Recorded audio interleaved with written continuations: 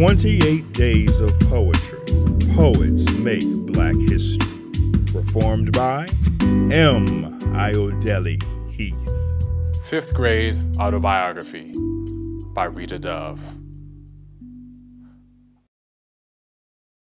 I was four in this photograph, fishing with my grandparents at a lake in Michigan. My brother squats in poison ivy. His Davy Crockett cap sits squared on his head, so the raccoon tail flounces down the back of his sailor suit. My grandfather sits to the far right in a folding chair, and I know his left hand is on the tobacco in his pants pocket because I used to wrap it for him every Christmas.